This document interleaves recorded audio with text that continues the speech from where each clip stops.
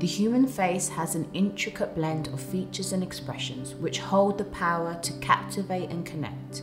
With age and extrinsic factors such as sun damage, the face changes in various ways which can leave us feeling a disconnection between how we look and how we feel. Aesthetic medicine holds the key to reconnecting and rebalancing inside and out.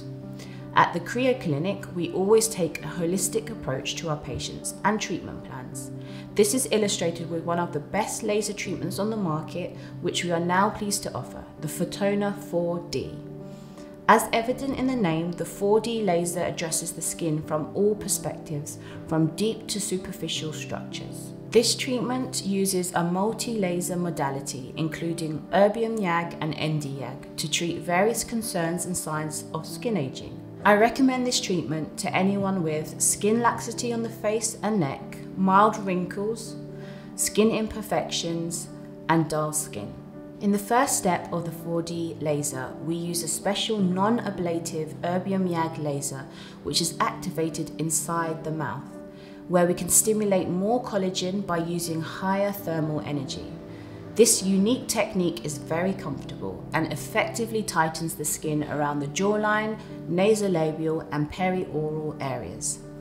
The second step, we use a non-ablative ND YAG pulse on the outside of the skin to stimulate more collagen through thermal energy, leading to extensive skin tightening and creating a firmer, lifted appearance. In the third step, we use a different mode of ND YAG laser with a self-induced fractional effect to treat pigmentation, redness, and deeper imperfections across the facial skin. Lastly, in the fourth step, we use an erbium YAG ablative laser, like a mini peel, to treat surface level imperfections and refresh the skin's appearance. You should notice small improvements immediately, mainly from ablative laser, which leaves you with a radiant glow by lifting away dead skin cells. The greater improvements are visible after four to six weeks as the treatment stimulates collagen and elastin production. The optimum result is seen once the course of treatments have been carried out, which is usually a course of three, but can vary depending on age and skin quality.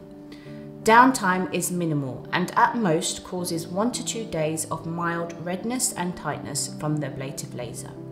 If patients would like zero downtime, this step can be missed out while still getting great results.